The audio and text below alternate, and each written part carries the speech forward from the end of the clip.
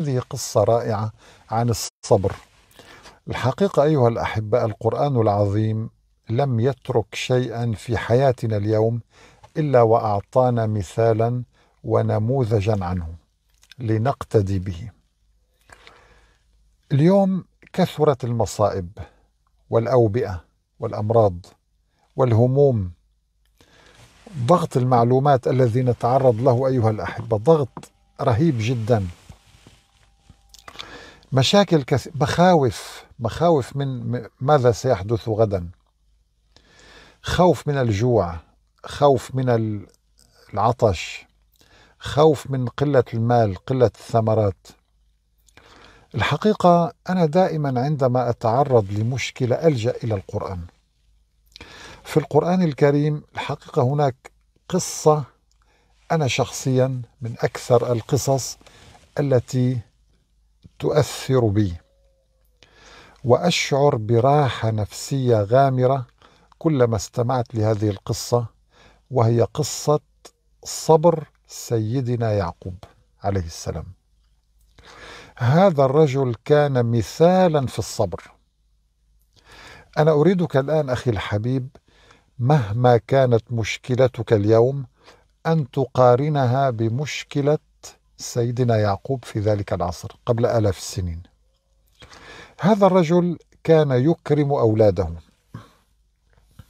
ولكن كان لديه طفل مدلل اسمه يوسف عليه السلام وهو نبي كريم.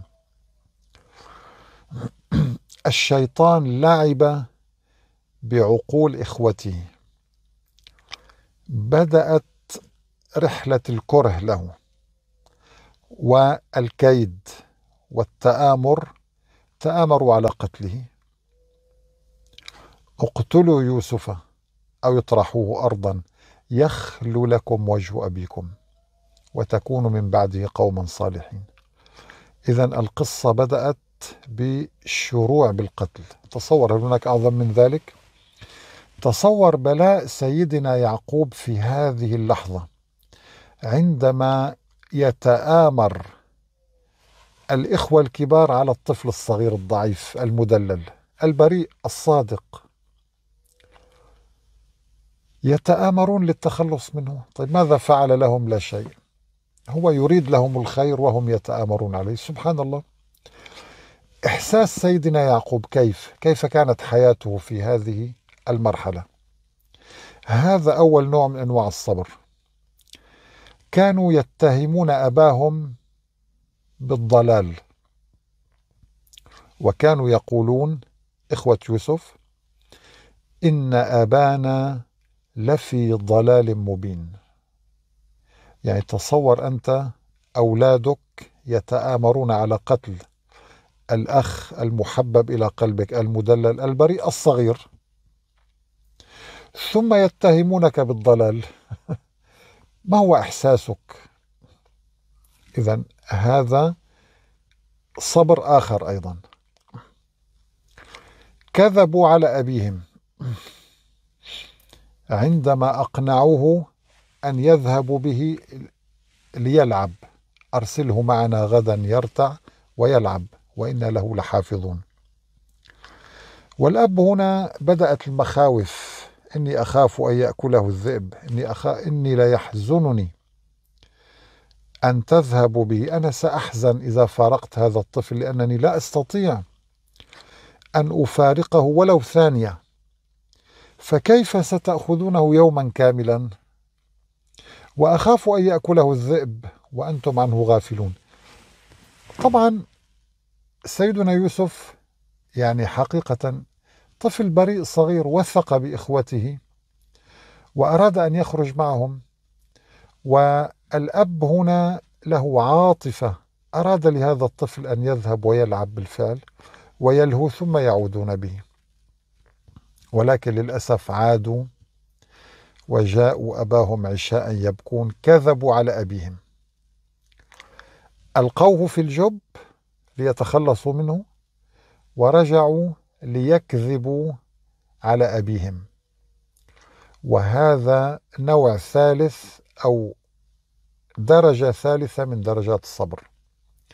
الصبر على كذب الأبناء. لم يكتفوا بالمؤامرة لم يكتفوا بالتآمر على أخيهم لم يكتفوا أنهم حرموا أباهم من هذا الطفل الذي كان يواسي أباه طفل صغير. ثم كذبوا عليه واتهموا الذئب. والذئب بريء طبعا. قالوا يا أبانا إنا ذهبنا نستبق وتركنا يوسف عند متاعنا فأكله الذئب. طيب بعد كل هذه المصائب التي تعرض لها الأب بالله عليك أنا أريد أن أتوقف الآن دقيقة فقط معك. أخي الحبيب قارن مصيبتك بمصيبة يعقوب في هذا اليوم.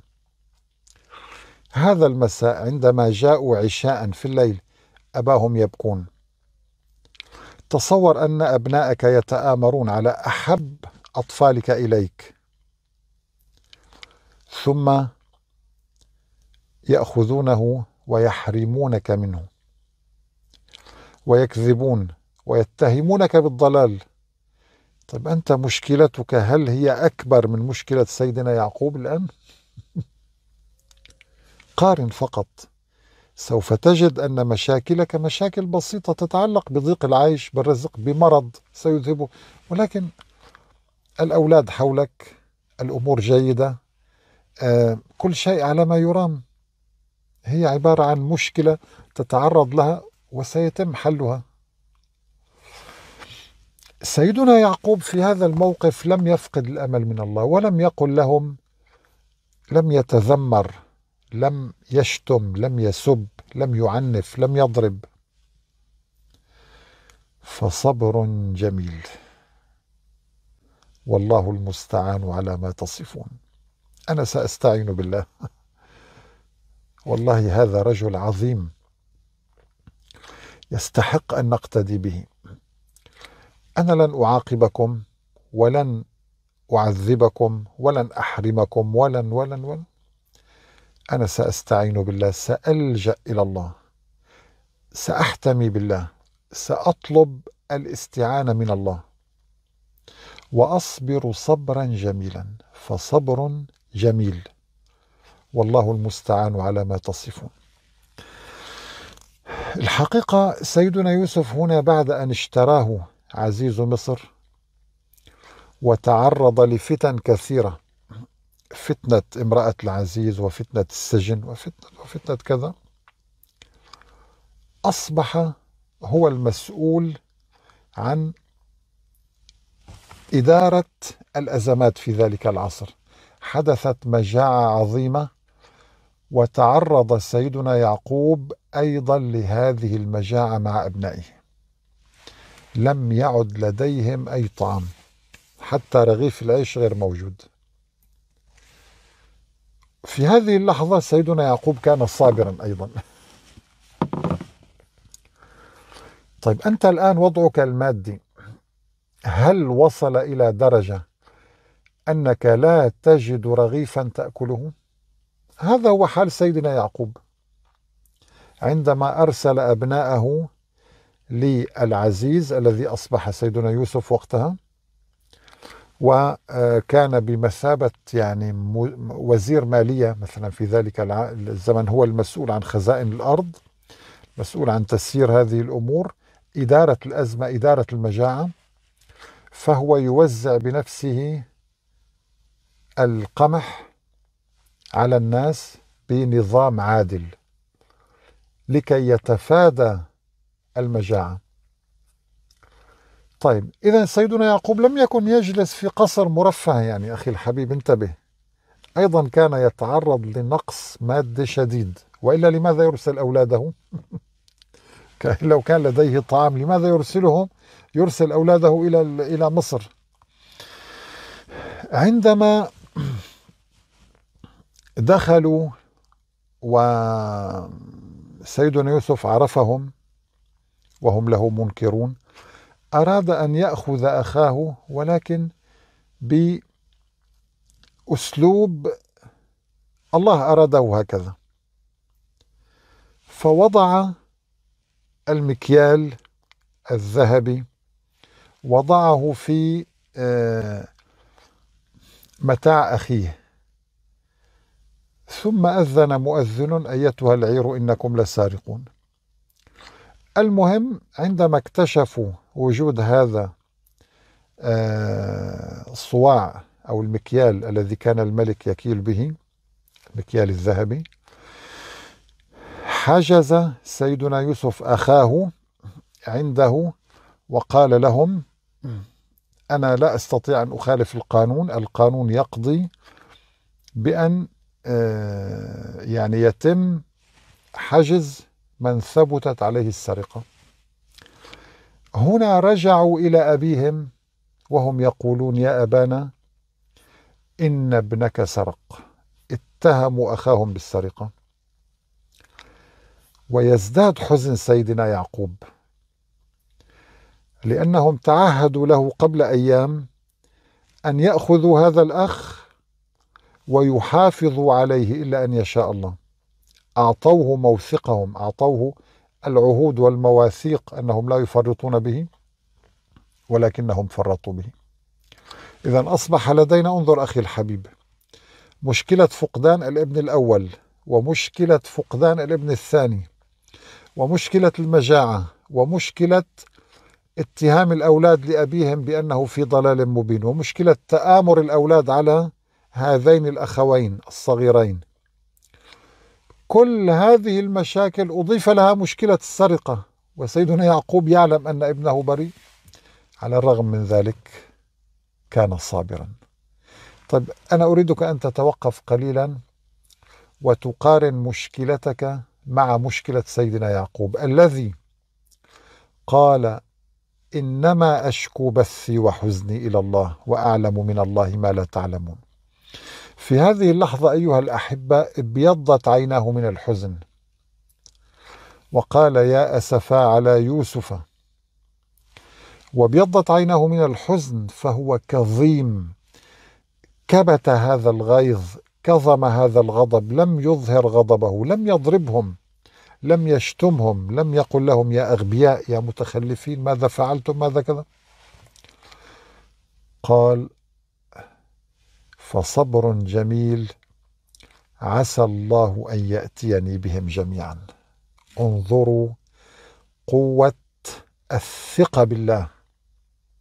يا أخي والله أنت مشكلتك اليوم لن تصل إلى هذا المستوى أنا أعلم. أنت الآن تدخل إلى بيتك. أنا لا أتصور أنك لا تجد رغيفا تأكله أو كأس ماء تشربه. لا أتصور أنك تعرضت للعمى بسبب الحزن وشدة الصبر وكثرة الصبر وطول الصبر. هذه مصائب تأتي متتالية. وسيدنا يعقوب يصبر. ثم يأمرهم ألا ييأسوا من روح الله. سبحان الله. لمن شكى همه لله؟ قال إنما أشكو بثي يعني همي مشكلتي. الآلام التي أعاني منها سأشكوها لله لن أشكوها له لكم أو لأحد من الخلق. إنما أشكو بثي وحزني إلى الله وأعلم من الله ما لا تعلمون. ما, ما هو الشيء الذي يعلمه؟ إنه يعلم أن الله لا يأتي إلا بخير وأن كل هذه المشاكل في نتيجتها الخير وفي نهايتها سيكون هناك خير. لذلك قال لهم لا تيأسوا يا بني اذهبوا. فتحسسوا من يوسف وأخيه ولا تيأسوا من روح الله. إنه لا ييأس من روح الله إلا القوم الكافرون. قارن مشكلتك الآن. هل أنت تعرضت للعمى؟ لا. ما دام لديك نظر ورغيف عيش تأكله إذا وضعك أفضل بكثير من هذا الوضع من هذه المشاكل التي تعرض لها سيدنا يعقوب. مجاعة ابيضت عيناه من الحزن لم يعد يرى شيئا. مصائب متتالية. ولم يفقد الأمل وأمرهم ألا يفقدوا الأمل. يا بني اذهبوا فتحسسوا من يوسف وأخيه. ولا تيأسوا. إياكم أن تيأسوا لأن اليأس كفر. ولا تيأسوا من روح الله. إنه لا ييأس من روح الله إلا القوم الكافرون. هنا في هذه اللحظة أيها الأحبة جاء الفرج. فعادوا إلى أخيهم يوسف. و و وأصبحوا أذلاء بين يديه. يا أيها العزيز قد مسنا وأهلنا الضر وجئنا ببضاعة مزجاة. فأوف لنا الكيل وتصدق علينا إن الله يجزي المتصدقين. في هذا الموقف الذليل أيها الأحبة هنا سيدنا يوسف قال هل علمتم ما فعلتم بيوسف وأخيه من قبل؟ يعني الآن أنتم صاغرون أذلاء نسيتم التآمر على أخيكم وأبيكم وكذا. قالوا إنك لأنت يوسف. قال أنا يوسف وهذا أخي قد من الله علينا. وهنا القاعدة الذهبية أيها الأحبة تأتي على لسان سيدنا يوسف. إنه من يتقي ويصبر فإن الله لا يضيع أجر المحسنين. إذا مزيج من التقوى والصبر كان سببا في إنقاذ سيدنا يوسف من الجب ومن السجن ومن الفتنة ومن المكيدة. ورفعه الله أن أصبح ملكا لمصر. رب قد آتيتني من الملك وعلمتني من تأويل الأحاديث. فاطر السماوات والأرض أنت ولي في الدنيا والآخرة. توفني مسلما وألحقني بالصالحين. إذا أيها الأحبة هذا الصبر كانت نتيجته أن سيدنا يعقوب أخذ درجة عالية عند الله.